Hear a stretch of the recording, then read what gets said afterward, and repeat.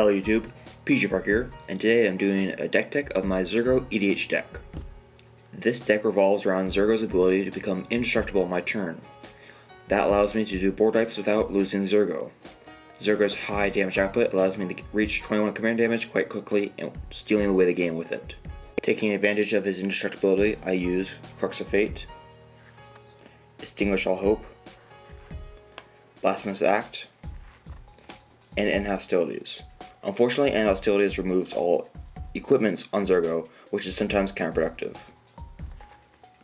In Garruk's Wake, Divine Reckoning allows one creature to survive, but I use it more or less for its flashback. And if I have more than one creature other than Zurgo, that creature will survive as well. Board wipes on a stick like Hythonia the Cruel and Deathbringer Regents are able to be reconstructed and are extra power once clearing the board.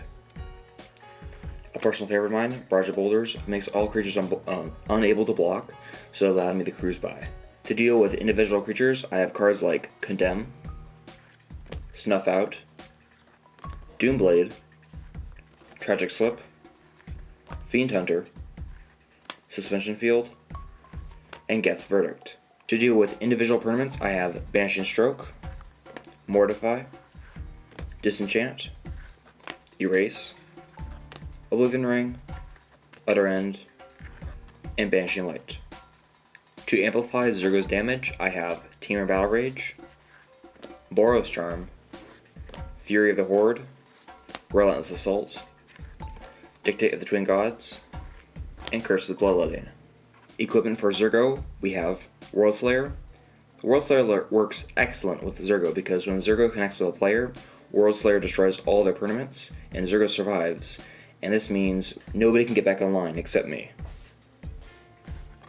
Moonsilver Spear is a favorite of mine, allowing me to attack with first strike and then get a defensive angel. Explorer Scope to get some of my mana out. Mask of Avacyn for the hexproof. Argentum Armor to make Zurgo pretty much Eldrazi. And Steelshaper's Gift to fetch up these equipments. Creatures accompanying Zurgo we have Bloodgift Demon for the card draw. Rakdos to make Zurgo cheaper once he returns to the command zone. Charmbreaker Devils to bring back my board wipes. Aurelia the World War Leader to get extra combat to do more damage with Zurgo. Krenko Mob Boss to put up a defensive wall of goblins.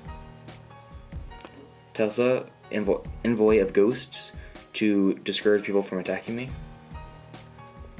Pristine Angel, another flying blocker. And Heartless Hidetsugu, deal more damage with his ability. For his sub thing, we have Reanimation. To go along with that, we have Grim Return to target things that went into my graveyard and opponent's graveyards. Fated Return, if Zurgo goes in the graveyard, he can come back permanently indestructible. And Palace Siege, allowing me to get back a creature from a graveyard at the beginning of my upkeep. Palace Siege works as a good combo with these cards. Fleshbag Marauder, Merciless Executioner, and Slum Reaper.